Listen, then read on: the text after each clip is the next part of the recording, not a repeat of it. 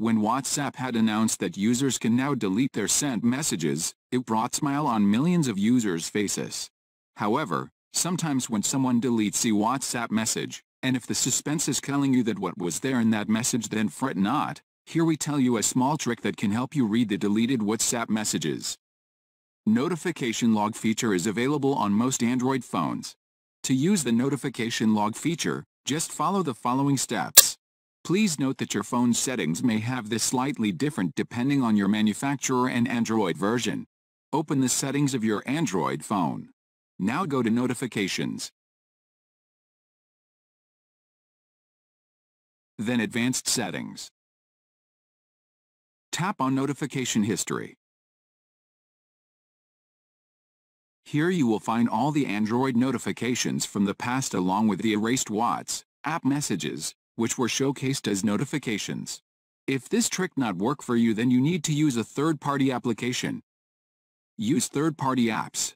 There are many third-party apps that you can use in order to read the deleted messages on WhatsApp.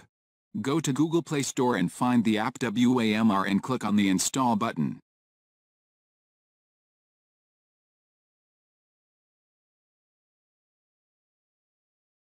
Once the installation process is complete, launch the app and grant the necessary permissions in order to access the app. After giving the permissions, go back to the previous screen, and select an app or apps for which you want to restore the notifications. From now every message that you will receive on WhatsApp, including the deleted messages will be available on this application.